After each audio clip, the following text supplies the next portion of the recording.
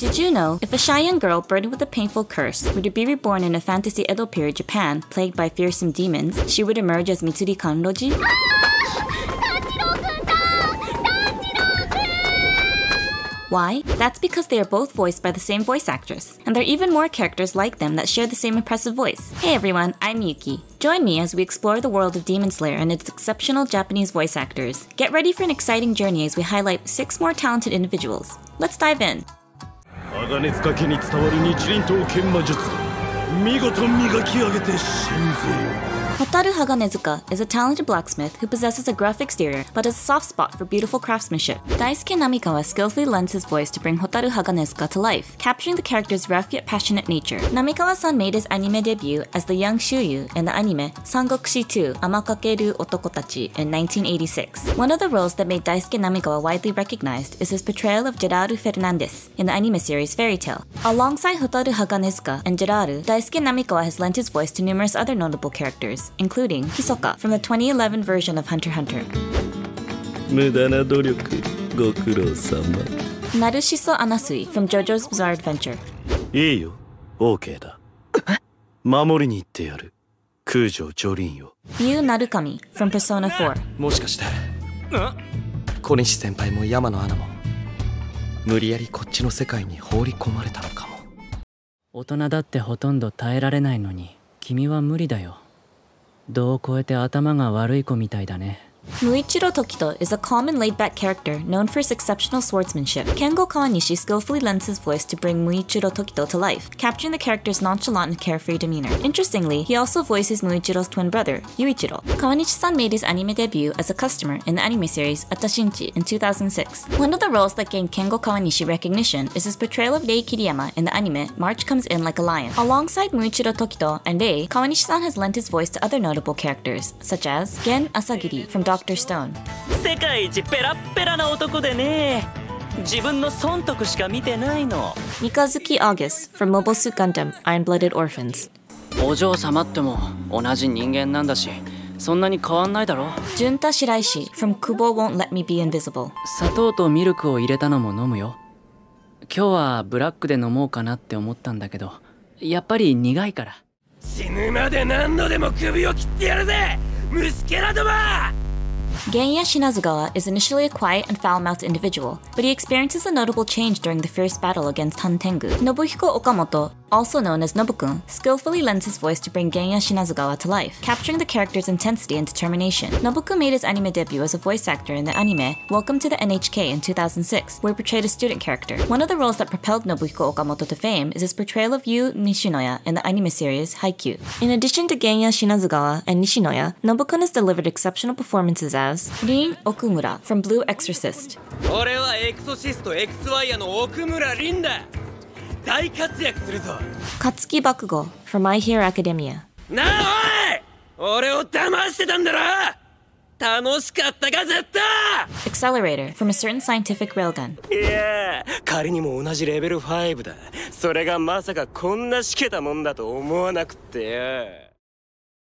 よなんでしょうかこれ。少なくとも300年以上前の刀ですよね Kotetsu is a kind and energetic child from the swordsmith village. Ayumu Murase, also known as Ayu, skillfully lends his voice to bring Kotetsu to life, capturing the character's lively personality. Ayu made his anime debut as a student character in the anime adaptation of Persona 4 in 2011. One of the roles that gained Ayu recognition is his portrayal of Shoyo Hinata in the popular sports anime series Haikyuu. In addition to Kotetsu and Hinata, Ayu has delivered exceptional performances as Iruma Suzuki from Welcome to Demon School Iruma-kun. うしよう。生まれてこの方断るなんて経験がない。Venti from the Japanese version of Genshin Impact. おや一日中世話しない不自由な労働者が銀融詩人の楽しみを邪魔する機会 The young Aki Hayakawa from Chainsaw Man. そんなのいつもだろ。太陽が元気な時なんてないじゃん。深い不愉快。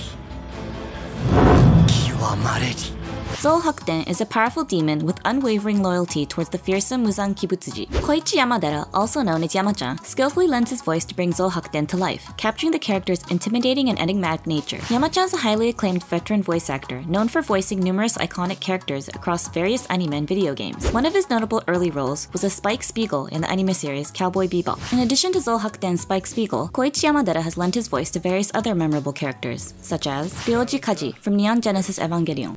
この世界じゃ君は有名だからね何の訓練もなしにエヴァを実戦で動かしたサードチルドレン Corazon from One Piece. 物心ついた時から医療の知識や技術の手ほどきを受けていたんだろ Virusu from Dragon Ball Super. 僕には味の想像もつかない未知の食べ物だペリ Before we proceed with the final character, let's give a shout out to some honorable mentions. Techin Techi Kawahara, voiced by Yusaku Yara. やっと仕組みが分かってきたんだもうちょっと時間くれんか。構造金森ボイスバイエイジ竹本ホーキンスこの状況チャンスだと思わないか？ミツリーズマザーボイスバイ純子皆川それだよそれ。なんでそんなのやんなきゃいけないのさ。ミツリーズファーダボイスバイケンジーノジマ刑事課の人手不足は深刻でね。新米扱いはしていられない。ムイチロスクロウボイスバイリエクギミアこもない貞治は病み上がりでまだ栄養が必要ある。Mitsuri's crow, voiced by Yui Horie. お父さんもお母さんも誰もいないよ。私には恋の呼吸三の方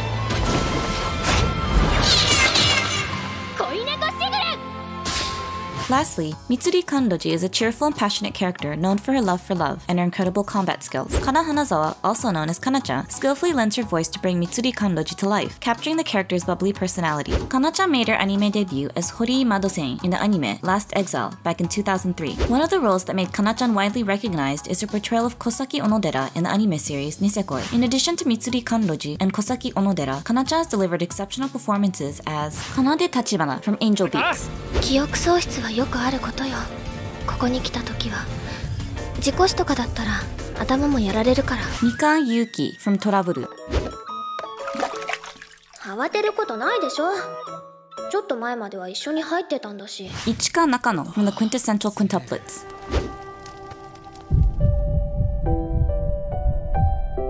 センサーに異常なし。これなら大丈夫。Did you find any of your favorite voice actors? Let me know in the comments. Be sure to check out some other videos too.